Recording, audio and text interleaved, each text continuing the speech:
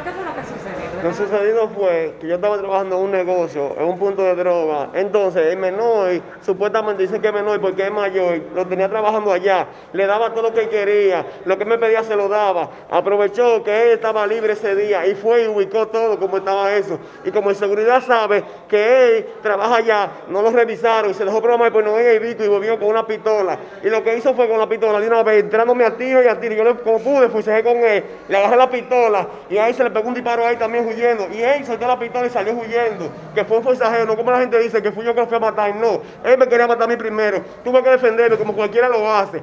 Como cualquiera lo hace, me tuve que defender. No me voy a dejar matar de nadie porque tengo por qué velar por mi familia y por mis hijos. No me voy a dejar matar de nadie. Anteriormente, ¿usted no había tenido... Nunca, nunca, nunca. Ese muchacho lo quería yo muchísimo. Ese muchacho me trataba bien. Fue así que se dejó programar por un primo de él. Todo el mundo sabe la ceniza, que nadie quiere hablar porque le tienen miedo a esa gente que están acabando ahí, atracando. El día antes habían atracado un punto en la ceniza, en el barrio azul allá abajo, y después querían atracar ese mismo. Pero como yo no me dejé atracar, defender por los míos, tuve que tirar para adelante como un hombre, porque no puedo dejar parte de nadie. ¿Cuál es tu nombre? Jonathan Beato.